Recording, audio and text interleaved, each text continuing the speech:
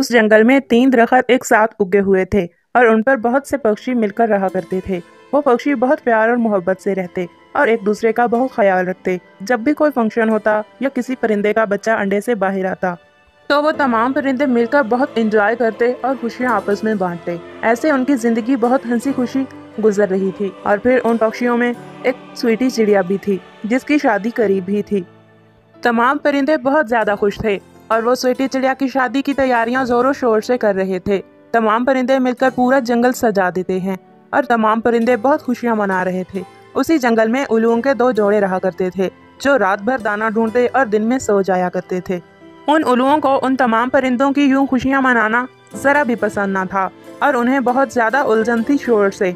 अरे यार, एक तो ये जो परिंदे हैं ना, रोज़ाना ही कोई ना कोई फ़ंक्शन मनाते हैं और बहुत शोर करते हैं। मुझे तो शोर बिल्कुल भी पसंद नहीं। हम पूरी रात दाना ढूंढते हैं और दिन में सोना होता है, लेकिन ये पूरा दिन शोर करते हैं, जिसकी वजह से हम लोग ज़रा भी आराम नहीं कर पाते। हमें कुछ ना कुछ तो करना ही पड़ेगा इनका। जी, उल्लू जी, आप ठीक कह रहे हैं। कुछ ना कुछ तो करना ही पड़ेगा। हाँ हाँ उल्लू भैया, आप बिल्कुल ठीक कह रहे हैं। इन परिंदों की आए दिन कोई ना कोई खुशी होती है। हमें इनके लिए कुछ ना कुछ तो करना ही पड़ेगा। हाँ हाँ उल्लू भैया, आपके भैया बिल्कुल ठीक कह रहे हैं। ये परिंदे हमें जरा भी आराम से सोने नहीं देते। उल्लू की वाइफ जो कि बड़ी भाभी होती है वो कहती है हाँ हाँ उल्लू जी आप ठीक कह रहे हैं। लेकिन हमें इन परिंदों को नुकसान नहीं पहुंचाना चाहिए। कुछ ऐसा करना चाहिए जिससे वो तंग आकर खुद ही जंगल छोड़ के चले जाएँ। अच्छा तो ऐसा हम क्या करें कि जिसकी वजह से उन्हें कोई नुकसान भी ना हो और हमारी भी इनसे जान छूट जाए? हाँ उल्लू जी मेरे जहन में एक प्लान है। जब वो पक्षी रात को सो जाएँगे तो हम जाकर उनके घोंसले गिरा देंगे। इसी तरह आहिस्ता आहिस्ता वो तमाम परिंदे हमसे बहुत तंग आ जाएँगे और जंगल छोड़कर दूसरे जंगल चले जाएँगे। और फिर वो तमाम उल्लू मिलकर ऐसा ही करते हैं। वो चारों उल्लू मिलकर तमाम परिंदों के घोंसले गिरा देते हैं और जल्दी से अपने घर चले जाते हैं। तमाम परिंदों के घोंसले नीचे गिर जाते हैं और उसमें से अंडे भी नीचे गिर जाते हैं और टूट जाते हैं। अगली सुबह तमाम परिंदे एक दूसरे से कहते हैं ये क्या हो गया तोते भैया? मेरा तो अंडा ही गिरकर टूट गया है। ऐसा कैसे हो सकता है कि हमारे सबके ही घोंसले गिर जाएँ? ना तो हवा चली और ना ही कोई ऐसा मसला हुआ जिसकी वजह से घोंसले नीचे गिर जाएँ। फिर ये घोंसले नीचे कैसे गिर सकते हैं? हाँ हाँ टूनी चिड़िया ये तो तुम बिल्कुल ठीक कह रही हो। लेकिन ऐसा कौन कर सकता है जिसने हमारे घोंसलों को नीचे गिराया? और फिर कालू कौवा कहता है अरे हाँ मेरे जहन में आ रहा है। हाँ सुनो पक्षियों ये घोंसले किसी और ने नहीं, उल्लुओं के दो जोड़ों ने गिराए हैं। तुम्हें तो पता है ना कि वो दिन भर सोते हैं और रात भर दाना ढूंढते हैं। और हम लोग रात को सोते हैं और दिन में दाना ढूंढते हैं। इसलिए उन्हें हमारा दिन में शोर करना बिल्कुल भी पसंद नहीं। इसलिए गुस्से में आकर उन्होंने हमारे घोंसलों को नीचे गिरा डाला। हाँ कवे भैया, ये तो तुमने बिल्कुल सही कहा। अच्छा तमाम पक्षियों, अब हम आइंदा इस बात का ख्याल रखेंगे कि हम ज़्यादा शोर ना करें क्योंकि उल्लुओं की नींद खराब होती है। ठीक है ठीक है तोते भैया। और फिर ऐसे तमाम पक्षी कोशिश करते हैं कि वो उल्लुओं को तंग ना करें। लेकिन उल्लुओं के दिमाग में एक बात आ चुकी थी और वो उसे बार बार दोहराना चाहते थे। अगली शाम को तमाम परिंदे जब थक खा कर सो जाते हैं तो उल्लुओं के दो जोड़े फिर से ऐसा ही करते हैं। उनके नए बनाए हुए घोंसलों को दोबारा से नीचे गिरा देते हैं। और अब उल्लुओं ने यही काम पकड़ लिया था। जब भी परिंदे सो जाते, वो उठते और दाना ढूँढने जाने के लिए पहले वो तमाम पक्षियों के घोंसले गिराते और फिर आगे जाते और फिर तमाम पक्षी बेचारे रोज़ाना सुबह नया घोंसला बनाते।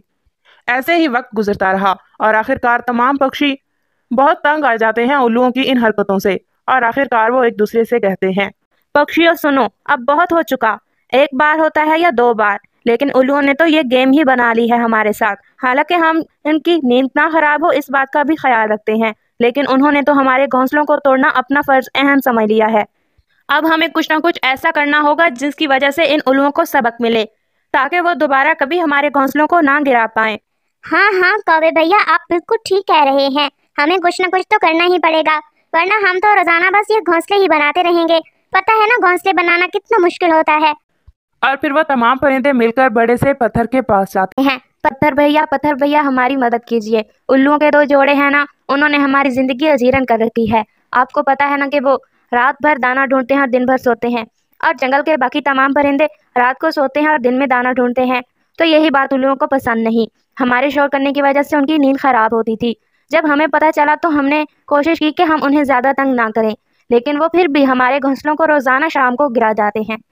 जिसकी वजह से हम तमाम पक्षी बहुत परेशान हैं। आप बहुत अच्छे हैं। हमारी मदद कीजिए। आप ऐसा कीजिए कि उल्लुओं के जो गुफा है ना, उसका रास्ता बंद कर दीजिए। अच्छा अच्छा प्यारे पक्षियों, तुम्हें परेशान होने की ज़रूरत नहीं। मैं तुम्हारी मदद ज़रूर करूँगा। और फिर वो बड़ा सा पत्थर जल्दी से उल्लुओं का दरवाज़ा जाकर बंद कर देता है। उल्लुओं के दो जोड़ों में से एक जोड़े ने अंडे भी दे रखे थे और उनमें से बच्चे बाहर निकल आते हैं। अरे, अब क्या होगा? हमारे गुफा का तो रास्ता ही बंद हो गया है। अब हम बाहर कैसे जा पाएँगे? अगर हम बाहर नहीं गए तो हमारे बच्चे दाना कहाँ से खाएँगे? अरे आप परेशान मत होइए। मेरे पास दो तीन दिन तक का दाना है। हम वही खाकर गुजारा कर लेंगे। और इतने दिनों में हम कोई ना कोई हल भी निकाल ही लेंगे। और फिर तमाम उल्लू मिलकर वो दाना खाते हैं। और, और ऐसे ही दो तीन दिन गुजर जाते हैं। आखिरकार वो दाना भी खत्म हो जाता है। तमाम उल्लू बहुत परेशान थे कि अब क्या किया जाए। छोटे छोटे बच्चे हैं। अगर बच्चों को दाना ना मिला तो ये मर जाएँगे। और ऐसा ही होता है। दो दिन और गुजर जाते हैं और बच्चे भूख की वजह से मर जाते हैं। और फिर तोता और स्वीटी चिड़िया पत्थर के पास जाते हैं और उससे कहते हैं पत्थर भैया आपका बहुत एहसान है हम पर। अब आप ऐसा कीजिए कि उल्लुओं की गुफा का रास्ता खोल दीजिए वरना वो अंदर ही मर जाएँगे। ठीक है ठीक है तोते भैया मैं खोल देता हूँ। रास्ता। और फिर वो पत्थर वहाँ से हट जाता है। अरे अरे उल्लू जी दरवाज़ा खुल गया है। हमारी गुफा का रास्ता खुल गया है।